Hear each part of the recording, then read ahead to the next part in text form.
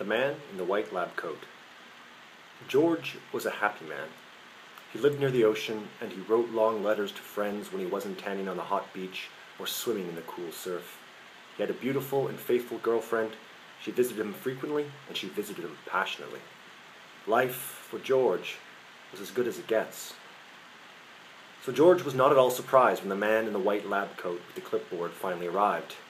I'm sorry, Mr. X, said the man in the white lab coat. It seems there has been some kind of mistake. Yes, of course, George replied as he toweled off the ocean for the last time. I've often thought someone like you might arrive one day and say something very much like what you're saying to me now. Splendid, the man in the white lab coat replied. So I'm sure you understand then that there are certain rules, policies, and limits when it comes to this sort of thing. He scrutinized George's record as he spoke.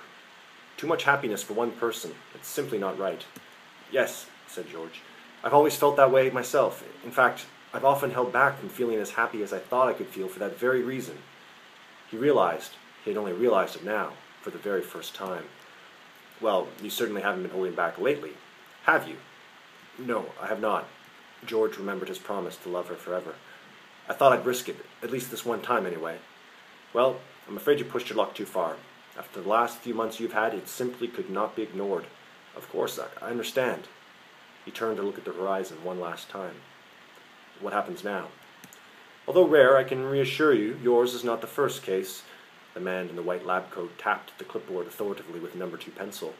There are procedures already in place. What about M? She's falling in love with another man at this very moment. He made a sharp and satisfying stroke against George's file. She will soon forget you and your life together very shortly. Will I forget her? That, ultimately, will be up to you. Oh, said George. Come along. There's a car waiting. George took one last long breath of ocean air and released it, making a sound not quite like, but very similar to, a sigh.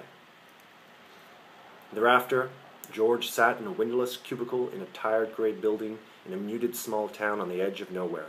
Minute after minute, hour after hour, day after day, month after month, and year after year, he thought of the happiness she had given him. Sometimes it tore him open, creating an unquenchable hurt. Sometimes it was enough to make him happy again, even if only for a moment. Sometimes he was trapped, and sometimes he was free.